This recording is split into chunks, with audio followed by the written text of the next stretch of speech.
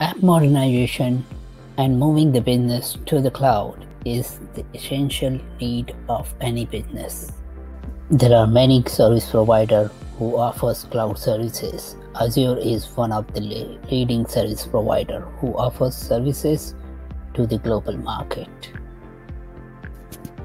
Do you know how Azure Cloud stores your data and protect the information when you move the data to Azure, the data is stored into the three different servers on the same physical location. The servers are called update domain.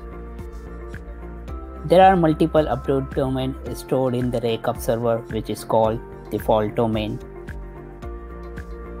Data stored on a physical location called the data center. In a single data center, there are multiple fault domains so in case of any disaster, such as in fire circuit, your data is always protected as the data is getting recovered from the backup fault domain. But what if there is a disaster happens to the entire data center? To mitigate such situations, Azure copies your data to the multiple data center, which calls the availability zone. Each availability zone is consist multiple data centers which are connected with each other with different network devices. When you choose availability zone, your data is getting copied to three different data center in availability zone.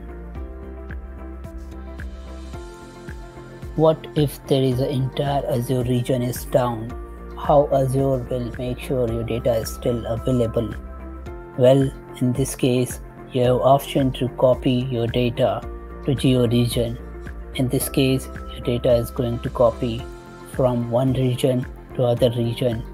The primary region will copy the data in the synchronous manner, whereas in the secondary region, the data is getting moved in the asynchronous fashion so that your productivity never goes down. This way, Azure makes sure you have a guarantee of protecting your data even in case of natural disasters to the entire region.